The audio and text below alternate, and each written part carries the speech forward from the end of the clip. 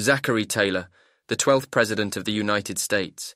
Born in Virginia in 1784, his presidency, which lasted from 1849 until his untimely death in 1850, it was his remarkable military record that caught the attention of the American people. Taylor rose through the ranks and became known for his leadership and bravery on the battlefield.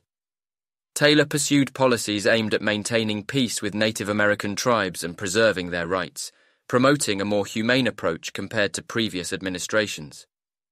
Taylor supported California's admission to the Union as a free state, which contributed to the balance of power between free and slave states.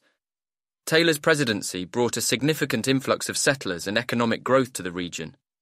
Zachary Taylor's military legacy left an indelible mark on American history his bravery, leadership, and dedication to duty serve as a reminder of the qualities we value in our leaders. Zachary Taylor, From Battlefield to Oval Office. James K. Polk, the 11th President of the United States. Born in North Carolina in 1795, Polk had a strong focus for the country during his presidency from 1845 to 1849. He was known for his commitment to expanding the country's territory and securing its interests. Polk advocated for the Walker Tariff, which reduced import duties and promoted free trade, stimulating economic growth. President Polk successfully negotiated the Treaty of Guadalupe Hidalgo, which ended the Mexican American War and secured vast territories, including California, New Mexico, Nevada, Utah, Arizona, and parts of Colorado and Wyoming, greatly expanding the United States.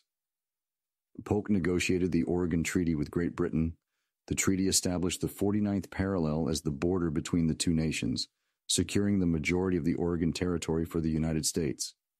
Polk prioritized the modernization and expansion of the U.S. Navy. Polk's presidency coincided with the California Gold Rush. James K. Polk, Shaping a Nation. John Tyler, the 10th President of the United States. Born in 1790 in Virginia, Tyler served as president from 1841 to 1845. He assumed office after the sudden death of President William Henry Harrison, making him the first vice president to succeed to the presidency. Tyler signed the Tariff of 1842, which aimed to protect American industries from foreign competition. One of the key accomplishments of Tyler's presidency was the annexation of Texas. He played a crucial role in securing the admission of Texas as a state in 1845, expanding the territorial boundaries of the United States.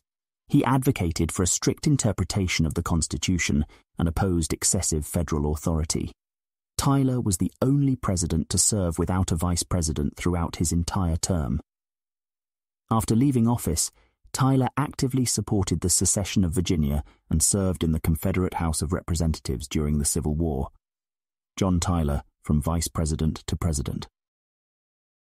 Thank you for watching. Subscribe now at American Presidential History. Stay updated with the latest videos. Follow at American Presidential History for more content and shorts. Like, share, and support the channel's growth. Subscribe now. www.youtube.com American Presidential H History.